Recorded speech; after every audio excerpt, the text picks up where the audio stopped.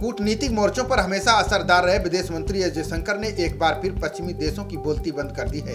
रूस से तेल खरीदने के सवाल पर भारतीय विदेश मंत्री ने कहा कि दुनिया को, भारत को कोसने के बजाय धन्यवाद कहना चाहिए। अगर रूस से भारत तेल नहीं खरीदता तो दुनिया बड़े संकट में फंस जाती।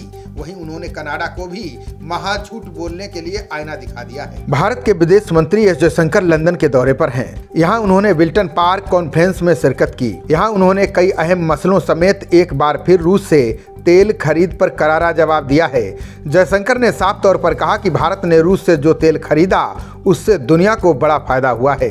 जयशंकर ने साफ़ कर दिया कि अगर भारत ने यूक्रेन युद्ध के बीच रूस से तेल नहीं खरीदा होता तो तेल के बाज़ार अस्थिर हो सकते थे।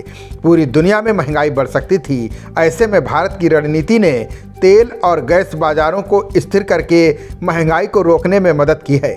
दुनिया को भारत की आलोचना करने के बजाय थैंक्स कहना चाहिए। बता दें कि पश्चिमी देशों ने यूक्रेन युद्ध की वजह से रूस के तेल निर्यात पर कड़े प्रतिबंध लगा दिए थे, लेकिन भारत को रूस ने रियायती दरों पर तेल बेचा। आने वाले दिनों के बारे में विदेश मंत्री एस जयशंकर ने कहा कि हमने वास्तव में अपनी खरीद नीतियों के ज़रिए ऑयल और गैस मार्केट को नरम कर दिया है।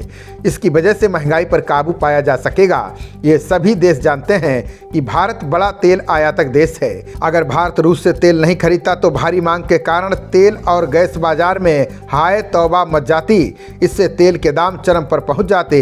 अब मैं दुनिया के अन्य देशों के धन्यवाद का इंतज़ार कर रहा हूँ कि हमने दुनिया को बड़े संकट से बचा लिया है।